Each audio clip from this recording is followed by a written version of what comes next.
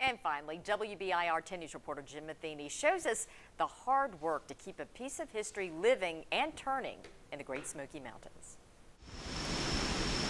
In Cades Cove in the Great Smoky Mountains, the scenic loop rolls by the old cable mill. From the time John P. Cable built this grist mill in the 1870s, life in Cades Cove revolved around this area and its big water wheel.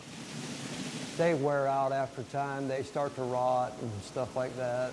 They have to swap them out every seven to 10 years, just like changing your tires. Today, you don't have a barn full of spare wheels and you can't pick one up at the hardware store. But the park does have restoration expert Delane Hodges, and Hodges rebuilt this wheel from scratch. I've made many wheels, but not this big.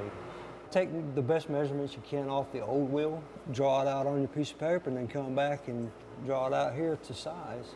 It is 10 foot, nine and a half inches in diameter. It took about two weeks to do all the, the figuring and getting all the lumber and how much I needed, all the hardware. And it took two weeks to build it. Now, they're not going to just slap the new wheel on here as soon as they get the old one off. First, they're going to spend a few weeks doing some work on the channel beneath this old wheel so the water flows better and doesn't pool up at the bottom because a big dirty puddle underneath makes it hard for the wheel to turn and also wears it out faster than usual. Surprisingly, the wheel that's in there now has lasted 20 years, and that's above and beyond, really. They want this wheel to last. Replacements are not cheap. Hodges says this one cost well over $7,000 just for the materials. Yeah, this is white oak and it was milled locally, and this is very resistant to uh, water.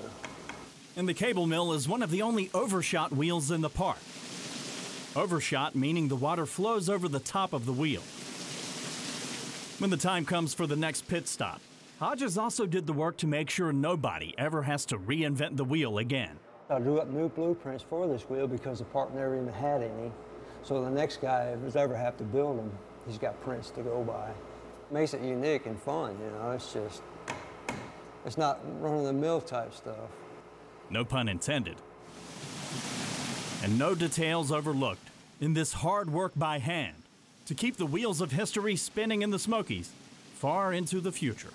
I think it's important to keep history. In Cades Cove, Jim Matheny, WBIR 10 News.